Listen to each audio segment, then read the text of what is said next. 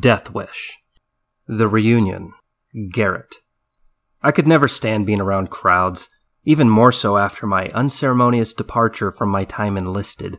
People have always tended to make me uncomfortable, especially when they are gathered together in a disorganized mass. Despite that uneasy feeling sending my anxiety over a cliff, I wanted to pay my respects to fallen comrades that I once held near and dear while overseas. That, along with an open bar, made attending the battalion reunion event tolerable. At the very least, I would run into a few familiar faces that were worth the trip all the way up to the middle of nowhere in upstate New York. Although I was dishonorably discharged, I was still allowed to attend the event as Forrester's plus one. Gotta love loopholes. It had been years since I had seen him, but we kept in contact nonetheless. We both knew the reasons why I got kicked out were complete dog shit, but I was happier as a free man outside the military than nothing more than a warm body with little to no value while enlisted. It was a sentiment a lot of us vets had. Never carried a single regret joining, but thankful to no longer be a cog in a broken machine. The moment I arrived at the venue in Watertown, Forrester approached me with the same half dance, half strut swagger while clapping his hands to the beat of music he only imagined to hear that he was so well known for, the trademark of his nickname, Trinidad. I let out a genuine laugh with arms wide open to give my old friend a hug, something I only granted those I deemed his family. Welcome back to the frozen north, Wonderbread. His accent was just as heavy as I remembered. Not sure if I'm more surprised that they actually sent you an invitation or that you willingly volunteered to come back to this shithole. Blink twice if you're here against your will. Forrester put his hands on his hips, opened his eyes wide. After a brief moment, he blinked several times before bursting out in laughter. Did you know they begged me to come? They sent emails, text messages, even letters in the mail. The only reason I responded was because I wanted to know how the hell they had any of my information. I had changed everything the moment I ETS'd. I swear it. Yeah, don't lose sleep over it. I'm sure they only want you here to look more diverse. Well, joke's on them. I said I would only come if I could bring whoever I wanted. At that point, my entire mood changed from reluctance to pure mischievous joy. So you chose the one guy that beat the shit out of the man they're honoring tonight. Damn. No fucking wonder why they call you Trinidad. After walking inside, signing the guest list, and receiving our name tags, we headed straight for the bar. I caught a few wandering, judgmental glances in my direction, but rather than be annoyed, I maintained a half cocked smirk as a symbolic middle finger. We quickly ordered a couple shots of whiskey, giving cheers to our reunion. Just as we raised our glasses, I caught a scruffy face raising a glass to us at the end of the bar. My fucking god, is that who I think it is? I was shocked to see Mason attending the same event as us. There's no way they'd let both of us in here. Let me guess, our resident foreigner put you down as his wife or some shit? Frigia dotesh kakahol, Forrester exclaimed with a smile before downing his shot. Jesus, I couldn't understand you five years ago, and I certainly can't understand you now. How the hell have you managed to avoid deportation all these years? Yas as stupid as I members ya. The two shared a quick embrace between fits of insults. After they kicked you and Garrett out, the army assisted in getting my citizenship. So, brother, there's no way of getting rid of me now. About you. How the hell you managed to get in here? Uh, long story short, y'all remember how I was pork and honey bun while we were deployed? Well, never really stopped. Oh shit, congrats, man. I slapped Mason on the back while I motioned the bartender to pour some more shots. Never thought you were the marriage type. Mason's jaw dropped and he quickly shook his head. God damn it, no. When you see her, don't mention the M word. It's more of an extended friends with benefits, no strings attached thing. Ah, oh, hell. I gave him a nod of understanding. There's definitely a story there, but I don't think we want to know. It wasn't long after that for the rest of our old gang to gather around the bar playing catch up over drinks. I wasn't too keen on the setting we were in, but thankful to be around fond company. Du Yun continued her medical education and landed a sweet gig with the VA. Big Dave, unsurprisingly, took up work in private security as a bodyguard. Tex spent most of his days not doing much of anything out on his homestead collecting disability checks. And dear lovely Honey Bun put that geeky brain to work as robotics engineer designing drones for the Department of Defense. For the most part, everyone was comfortable where they were in life, with the exception of Mason. Without uttering a single word, I felt something was off with him. He had that long, disinterested stare that a lot of us shared. It was easy to tell there was something on his mind, but without asking him, I couldn't be sure. It was enough of a distraction for him to drink twice as much as the rest of us.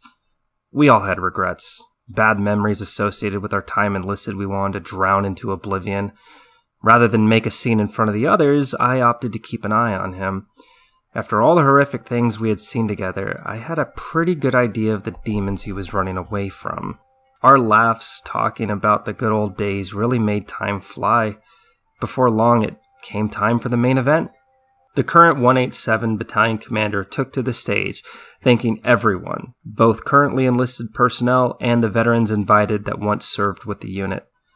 A slideshow was presented on stage, giving the whole thing a high school reunion vibe that had us cracking up. From black and white photos taken decades ago all the way up to when the seven of us were deployed to Kunduz, Afghanistan, I caught a single picture of Mason struggling to fill sandbags in 110 degree heat, yet not a single one of myself. On one hand, I really didn't care since outside of the friendships I had made, I didn't have any fond memories of the battalion or the piss poor leadership, let alone the fact that I was dishonorably discharged. On the other hand, it did feel as though I was eradicated from history. All the bloodshed and sweat I gave on behalf of my oath to serve my country was refused to be acknowledged. Mason's departure was a special circumstance a general discharge under honorable conditions, all due to mental health issues. I kept checking in on him as the commander spoke to the guests. With each moment that passed, he became focused, holding a tight stare to each picture on the slideshow, as if he was waiting to see a particular picture. The joy he had while talking with us was replaced with a sour, stern expression, making him look disgusted with the whole presentation. I leaned in with a whisper to see if he wanted to leave, but all he did was shrug and continue to drink. I figured he was just dealing with combating mixed emotions like the rest of us. We all had our reasons to detest our time in service. Once the presentation transitioned to remembering the fallen, I noticed Mason cross his arms and bite his lip. It hit me just as hard as him to see three pictures flash on screen Anderson, Harris, and Wade the three people we had deep connections with that gave the ultimate sacrifice. Even now, just thinking of losing them makes me question if any of our efforts in the region was worth their lives. There wasn't enough time in the world for us to take in a moment of grief on their behalf. As quickly as they were shown on screen, their pictures were replaced by an officer the seven of us had a very rocky history with Lieutenant Eric Bosch. I could have gone the rest of my life without ever hearing that name ever again. Yet instead of remembering the friends I had lost, I had to be reminded of arguably the worst human being I ever met. Needless to say, our last interaction was the reason for me getting kicked out of the army. They say not to speak ill of the dead, but that piece of shit deserved every ounce of the beating I gave him. The only regret I have was that it wasn't the ass kicking I gave him that sent him to an early grave. Turns out one of the local nationals that worked on our fob murdered him long after I'd been sent home. I'll pour some out for that guy. He did the world a service. I wasn't surprised that the unit spent extra attention on his memorial. It was the five year anniversary of his death, and the invitations made a heavy emphasis on remembering his sacrifice. They invited his family and his widowed wife and young daughter on the far side of the stage. When I looked over to check on Mason, he was gone. Fuck that guy, Mason yelled, pointing his finger to the screen as he drunkenly pushed his way toward the stage. LT Bosch deserved exactly what he got. There was a loud gasp at Mason's remarks, followed by a short silence as the commander motioned to have him removed from the venue. You're his kid? Mason looked at the frightened little girl hugging her mother's leg. Your father was a rapist. He was a monster. You're better off with him in the ground. All right, sir, enough. A couple members of military police approached him. You need to leave. Mason staggered a bit, scrunched up his face before laughing. The fuck are you gonna do? We're off post. You have no power here. As the MPs moved to restrain him, the rest of our group made our way between them. We'll take him with us, Big Dave said with a low yet intimidating voice as he looked down at the men. The seven of us began to move towards the door when we overheard the commander. There's a reason why we didn't invite the people that couldn't cut it within our ranks. You know what? I had enough of the nice, quiet guy act. Fuck him. And fuck all the people that covered up what he did. A lot of us are glad he's dead. We didn't stay long enough to hear all the people yelling back at us, appalled at our lack of respect. I did feel bad for the kid. She didn't deserve witnessing people talk bad about her father, although our feelings were true, especially in such a public display. Even still, it felt damn good to have one last metaphorical jab at the guy. Mason lurched towards the wood line and proceeded to vomit, heaving several times before finally leaning against a tree. I lit a couple cigarettes and gave him one. The seven of us stood in a circle, with all eyes on Mason. No one wanted to be the first to say anything. It was hard because none of us could disparage what he did. We all hated Bosch. We all knew what he did. We were all glad he died the way he did. Things have been hard lately. Honeybun finally broke the silence. Her typically quick speech was slowed and calm. Mace has been seeking help for years, but all the therapy in the world can't erase certain memories. What Bosch did. She gave a guilty glance at Du Yun. Well, just the thought of it can eat a person until there's nothing left. Du Yun finished Honey's thought. I've had to live with it. What he did to me, how the unit covered it up, and how they silenced the guys that witnessed it. I've had to find my own way of dealing with all of it. But I still feel guilty for what happened to Mason and Garrett. It's taken a long time, but I have found a way to move on from what happened to me. But I lose sleep knowing I can't change what happened to you guys.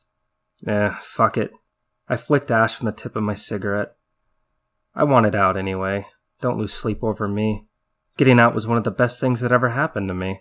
Me, me neither. Mason composed himself as he looked at Du Yun in the eyes.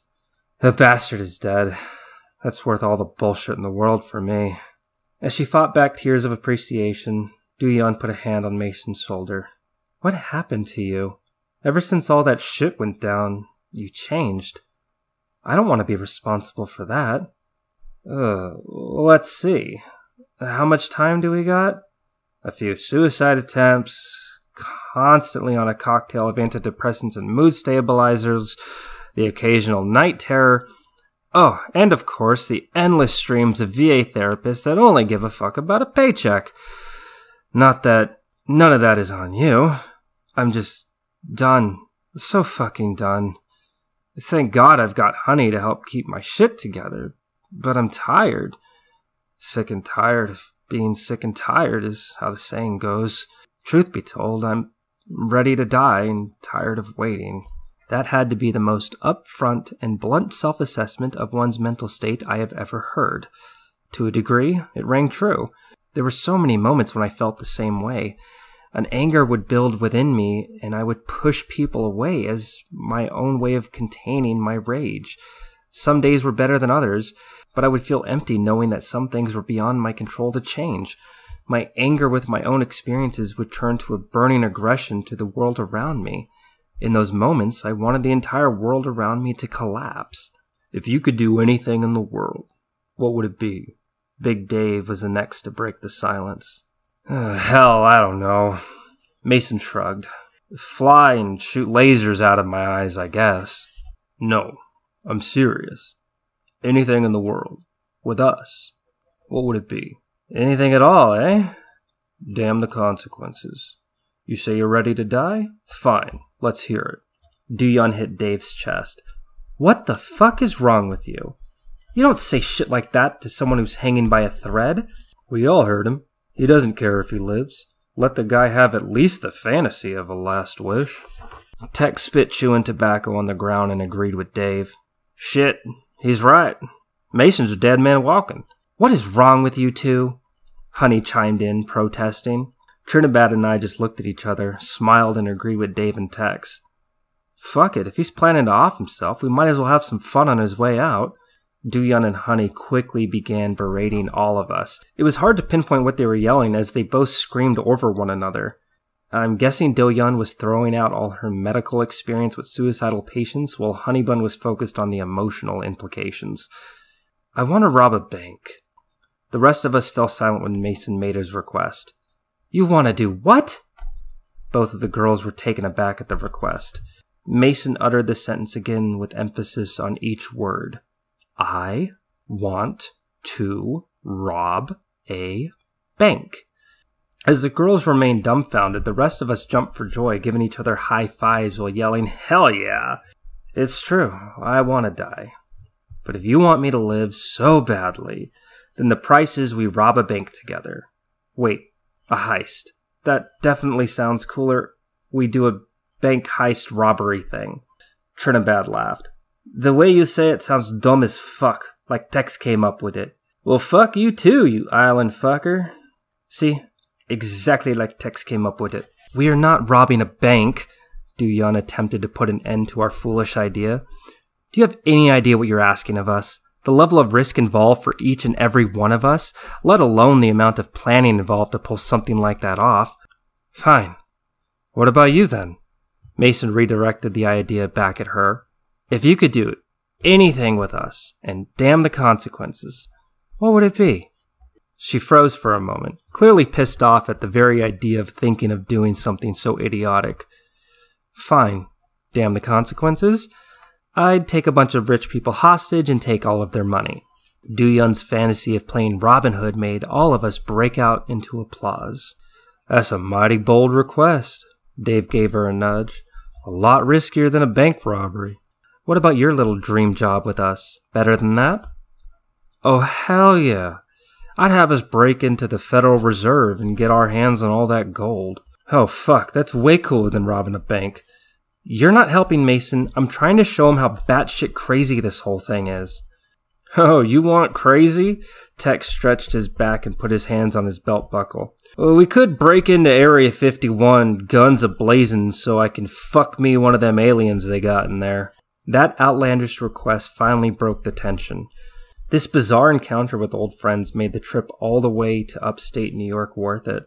As crazy as it may have sounded, we all agreed that our lives had been a different kind of hell for each of us, and the idea of making a bucket list of strange, illegal adventures was an oddly healthy way for us to reconnect. There was a time when we were the only family we had, and meeting together after all those years proved the profound strength of our bond. Crazy as it may be, we all agreed to fulfill what Mason referred to as his death wish. Mason wanted to rob a bank. Du Yun wanted to steal from the rich. Big Dave wanted to break into the National Reserve.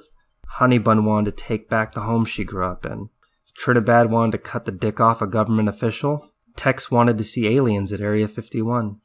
And I was perfectly content watching the world end alongside my friends.